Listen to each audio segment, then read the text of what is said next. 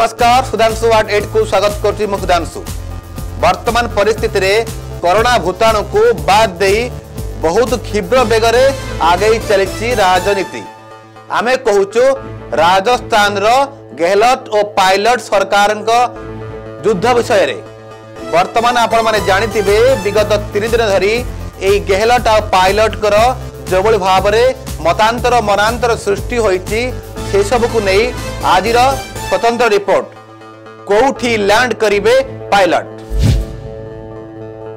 କଂଗ୍ରେସର ଯୁବ ଚେହେରା ଭାବେ ରହିଛନ୍ତି ଅନେକ ନେତା ଏବେ କଂଗ୍ରେସର ହାତ ଛାଡ଼ିଦେଇ ନୂଆ ଭବିଷ୍ୟତ ଆପଣେଇଛନ୍ତି ଯୁବ ନେତୃତ୍ୱମାନେ ଓ ସେଥିରେ ସଫଳ ବି ହୋଇଛନ୍ତି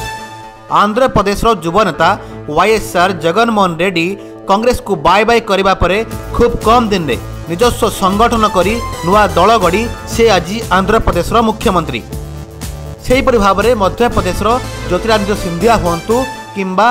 କର୍ଣ୍ଣାଟକର ଅନେକ ଯୁବନେତା ଏବେ ବିଜେପିରେ ସାମିଲ ହୋଇଛନ୍ତି ଏବେ ବାକି ରହିଲା ସଚିନ ପାଇଲଟ ତାଙ୍କର ପରବର୍ତ୍ତୀ ରଣକୌଶଳ କ'ଣ କରିବେ ନୂଆ ଦଳ ଗଢ଼ିବେ ନା ବିଜେପି ପାଲିକୁ ଯିବେ ହାଇକମାଣ୍ଡଙ୍କ ମନମୁଖୀ ଶାସନ ପାଇଁ କଂଗ୍ରେସ ଦିନକୁ ଦିନ ରସା ତଳକୁ ଯିବାକୁ ବସିଲାଣି ଆପଣମାନେ ଜାଣିଥିବେ ଗତ କିଛି ଦିନ ତଳୁ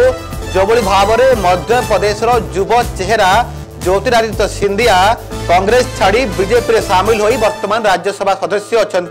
ठीक वर्तमान से ही रास्ता को आपणेबे कि सचिन पायलट जदि सचिन बीजेपी को न जाती सी एक नुआ दल गठन करने शुणा मिलू देखु कंग्रेस छाड़ी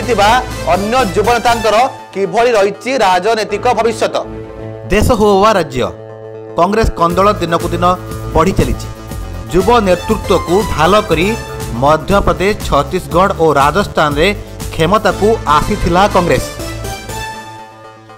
ଯୁବ ନେତୃତ୍ୱଙ୍କୁ ଅଣଦେଖା କରି ବରିଷ୍ଠଙ୍କୁ ମୁଖ୍ୟମନ୍ତ୍ରୀ ପଦଭାର ନେଇ ବିବାଦକୁ ବି ଆସିଥିଲେ ହାଇକମାଣ୍ଡ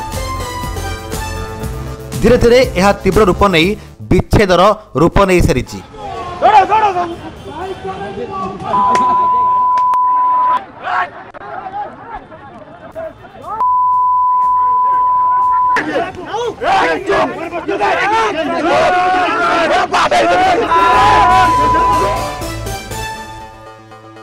गतकाली उपमुख्यमन्त्री प्रदेश अध्यक्ष को बरखास्त गरि दल वर्तमान रे कांग्रेस सरकार वञ्चर कि या बड़ा चर्चा रा विषय ए पर्यंत सचिन पाइलट को दलको जिबे କିମ୍ବା ନିଜେ ଏକ ଦଳ ଗଠନ କରିବେ ଏ ବିଷୟରେ ଚର୍ଚ୍ଚା ଥମିନି ଏବେ ସୁଦ୍ଧା ପାଇଲଟ ଓ ତାଙ୍କ ସମର୍ଥକ ବିଧାୟକଙ୍କୁ ନୋଟିସ୍ ମିଳିଛି ହେଲେ ରାହୁଲ ଗାନ୍ଧୀ ମଧ୍ୟ ଏବେ ବି ଆଶା ରଖିଛନ୍ତି ସଚିନ ପାଇଲଟ ଦଳକୁ ଫେରିବେ ଯଦି ଆମେ ଓଡ଼ିଶା କଂଗ୍ରେସ ଉପରେ ନଜର ପକାଇବା ଦର୍ଶକ ବନ୍ଧୁ ଆପଣ ଜାଣିଥିବେ କଂଗ୍ରେସ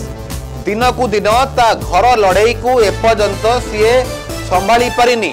प्रत्येक समय रे पीसीसी सभापति पर समय आसीगले कंग्रेस रे आरंभ हो जाए गृहयुद्ध एभली परिस्थिति पाई बीजेपी और बीजेडी को सामना न करी कांग्रेस वर्तमान तृतीय स्थान रे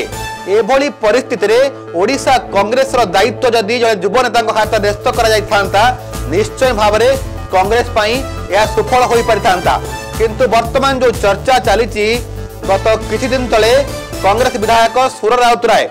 କହିଥିଲେ ଯେ ଆମର ତେର ଜଣ ଆଶାୟୀ ଅଛନ୍ତି ସଭାପତି ପାଇଁ କିନ୍ତୁ ସୁରବାବୁଙ୍କ କହିବା କଥା ଯେ ଯଦି ତେର ଜଣ ଭିତରୁ ଜଣକୁ ସଭାପତି କରାଯାଏ ବାକି ବାର ଜଣ କରିବେ କ'ଣ ସେମାନେ ସେ ସଭାପତି ବିରୁଦ୍ଧରେ ଯିବାକୁ ତାଙ୍କୁ ଖୁବ୍ କମ୍ ସମୟ ଲାଗେ କାହିଁକି ନା ଇଏ ହେଉଛି ଓଡ଼ିଶା କଂଗ୍ରେସର ଗୋଟେ ପରମ୍ପରାଗତ ବେମାର